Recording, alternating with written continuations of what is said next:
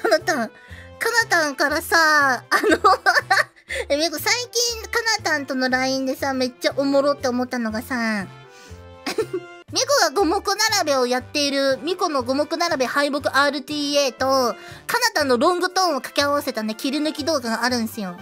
もう毎回ね、ミコが五目並べで負けるのと、かなたんがなんか生誕とか周年で、ロング、ロングトーンをね、ポーってやると、もう絶対上がってくる動画があるんですけど、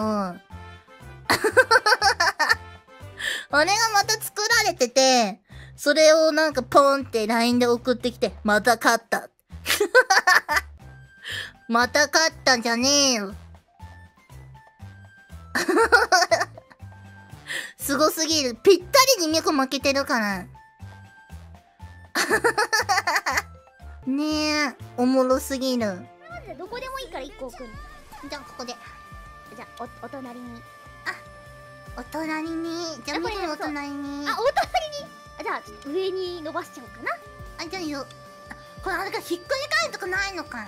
そうそうそう全部とつなげれたら OK なのなるほどですね。そうそうそうそうじゃあ、ミコも上に。ああじゃあもうさらに上にじゃあ、ミコ横に。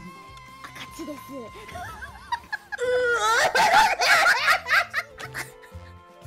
絶対来んだよ、五目並べと。